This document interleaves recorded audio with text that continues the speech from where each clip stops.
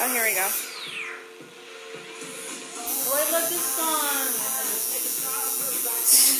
I just posted the lyrics on Facebook. This is not anymore.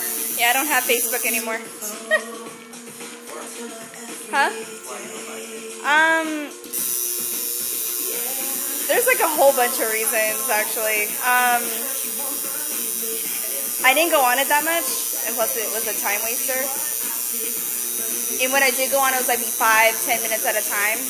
But I could have been productive and done something else. Plus, there's a lot of negative people on Facebook, and I, and I'm like a positive person, so I couldn't, you know, yeah, I was like, this isn't worth it.